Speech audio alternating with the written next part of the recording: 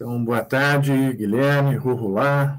Vamos então ao nosso quarto encontro de orientação. Semana passada foi feriado e hoje então nos reencontramos.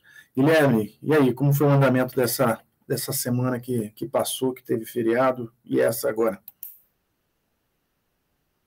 É, então, professor, eu tinha pedido, né, para prorrogar um prazo que eu tinha colocado. Eu tinha colocado do domingo, mas eu acabei viajando para Serra Catarinense, Florianópolis, e acabei voltando no sábado. E no domingo eu tive a prova do Banco do Brasil, do concurso.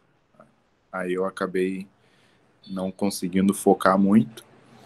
Aí eu pedi para colocar o, o, prazo de quarta-feira, mas eu acabei me, me atrapalhando também, porque eu tinha algumas outras pendências também para fazer. É, tá tudo certo, falta acrescentar mais uma página ou duas. Ela tá com cinco páginas agora. E aí, assim que finalizar, eu já mando para ti para corrigir. Acho que não, não vai demorar muito, no máximo, no máximo quarta-feira que vem. É basicamente isso. Perfeito, então. Tudo bem, tranquilo. É, prioridades, sim, sem dúvida. Mas eu fico aguardando, então, na quarta-feira, encaminha para o meu e-mail, pode ser agora o Hotmail, que tá, agora está tudo normal, tudo comum, e aí eu já faço a leitura na quarta-feira e já, já te respondo, já te dou um feedback. Obrigado, Guilherme. Vou lá. Boa tarde, professor. Uh, eu, eu mandei para a professora quarta-feira matéria. Uh, eu mandei adiantado porque, como vai demorar, né?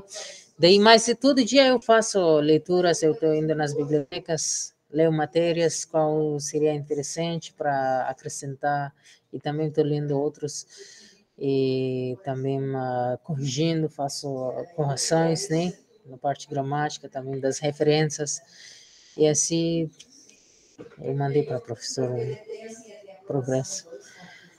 Sim, sim, eu recebi a, a de recebimento. É eu acho que, eu acho que ainda precisa fazer uma boa revisão é, é, textual, lá. Tem muitos erros de, de escrita, né? Muitos erros de escrita, precisa fazer essa revisão pontual né, em praticamente todo o texto.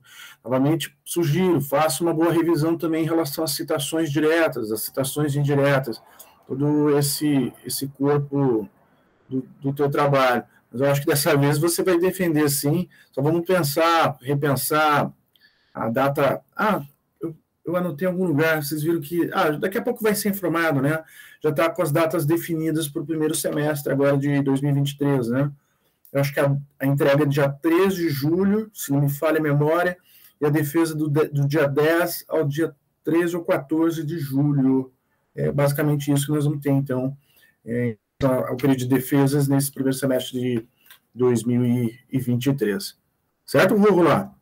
Certo, professor. Eu ainda vou trabalhar mais nesses pontos que você mencionou. É, eu acho que está tá muito bem encaminhado, está muito bem encaminhado e eu fico contente, né? Eu fico contente. Até brinquei com o Guilherme, que acompanha bastante meu Instagram, né? Que eu posto lá, é, o, como que é? Não é Academia do, é o outro lá, o FSM, né? Publica. E aí a meta, né? De ter oito orientandos é, defendendo nesse ano de 2023, atingindo novamente aquele patamar que sempre eu tinha antes de 2018.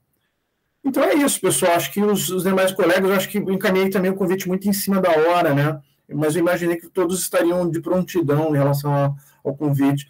Eu vou trocar então a estratégia, já vou encaminhar hoje o convite para a semana que vem, né? Para a primeira sexta-feira de maio, e a gente se encontra.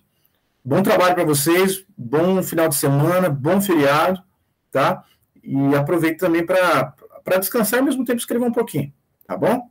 Vou encerrar aqui a gravação, novamente agradecendo vocês. A gente se vê semana que vem, tá bom? Só encerrando aqui, meus queridos. Obrigado mais uma vez. Valeu.